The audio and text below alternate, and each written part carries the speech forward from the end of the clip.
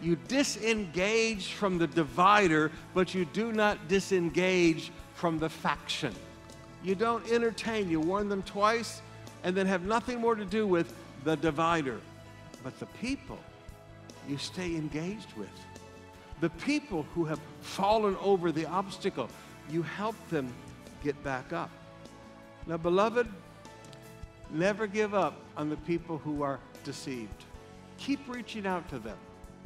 Keep engaged in their life and loving them. When they come back in, don't bring up the past. Just love them in Jesus' name.